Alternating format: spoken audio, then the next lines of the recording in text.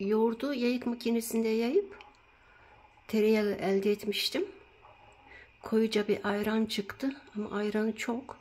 Bir kısmını içmek üzere ayırdım. Diğerini de ocağa koydum. Bakın kesilmek üzere. Sıcağı görünce kesilecek. Birkaç dakika kaynayacak. Altını kapatacağım. Öyle bekleyecek. Sonra süzeye koyacağım. Çökelek bu. Yani elde edilişi çok kolay. Eğer ayrandan değil de yoğurdu e, biraz böyle çırpıp ocağa koyup da çökelek yaparsanız o da yağlı olur. Yağlı çökelek olur. O daha güzel olur. Biz önce tereyağını aldık sonra yağsız çökelek olacak bu. Tuzlayıp kaya tuzuyla hafif tuzlayıp buzdolabında tüketebilirsiniz kısa sürede.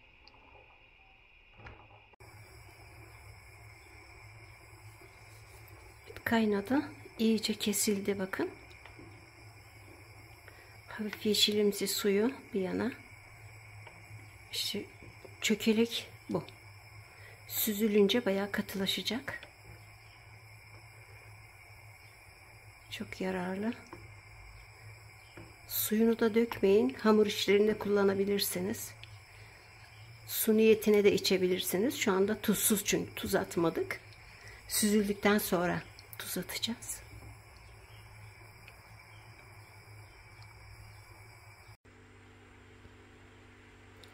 Kaynadı çekili kesildi. İşte süzmeye koydum süzülüyor. Sabaha kadar süzülür. Hiç suyu kalmaz. Bakın işte bu da suyu. Yeşilimiz aynı peynir altı suyu gibi ama bu mayalı tabii ki. Hazmı daha kolay bunun.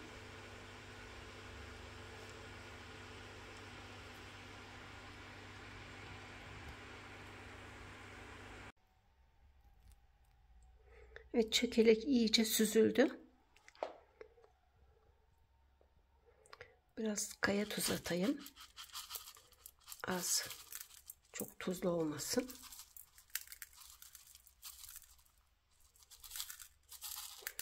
Ya bibiler kendi kendilerine iş çıkarmışlar. Şimdi bak yoğurdu yayıp yağını çıkarıyorlar.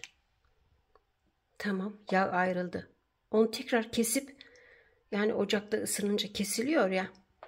Oradan da çökelek elde ediyorlar. Sonra sofraya getirince çökelekle yağı tekrar birbirine karıştırıyorlar. E madem karıştıracaksın niye ayırdın? Bana eziyet olsun diye.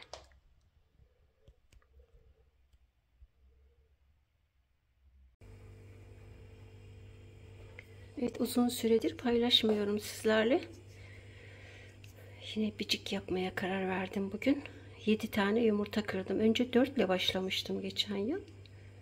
Şimdi 7'ye çıktı. Buna zeytinyağı, süzme bal. Zeytinyağı evet çok kaliteli. Kadirli'den çok değerli dostlarımız gönderdi Osmaniye'den.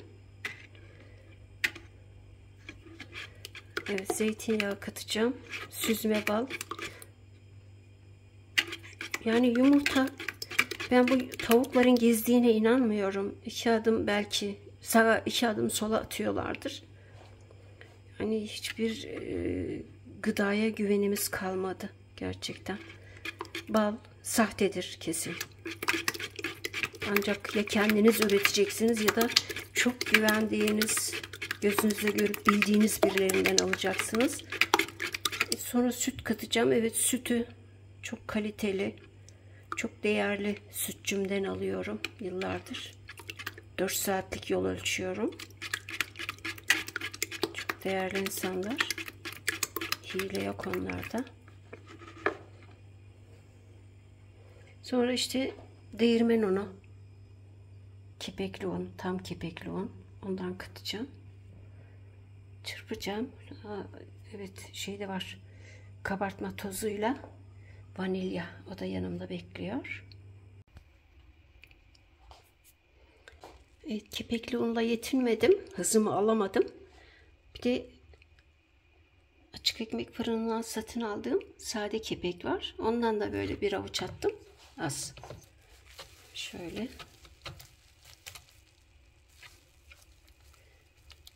Böyle tavaya akıtacağız ve kendiliğinden yayılacak tavaya. O kıvamda olacak. Böyle koyu bir ayran gibi işte. Kıvamı bu.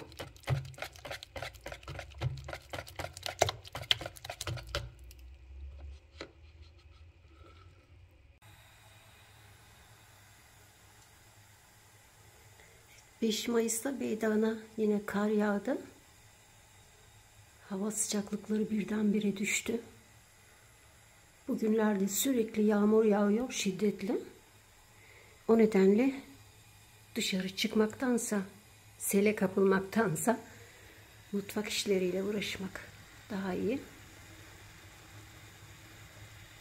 Şimdi altyapısı e, bozulduğu için Malatya'nın depremden dolayı rogarlardan su da gitmiyor. O nedenle ana caddeler çamurla sele dönüşüyor hemen. Zaten belediye otobüsleri Nuh Nebi'den kalma. Sürekli arıza yapıyor. Bir de çok e, az e, sefer sayısı sanırım.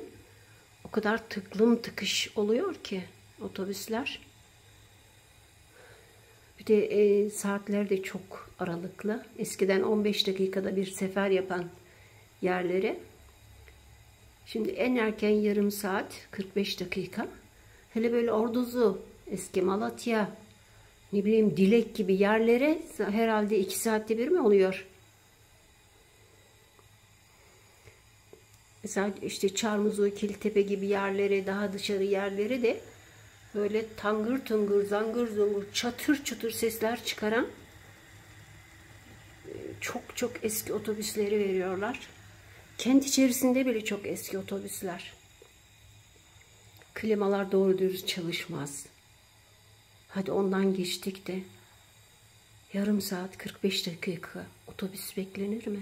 O nedenle hele de yağışlı günlerde dışarı çıkmaktansa böyle mutfak işleriyle uğraşmak daha iyidir.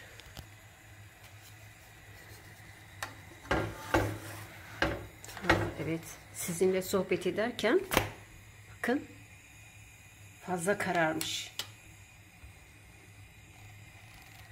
Unuttum.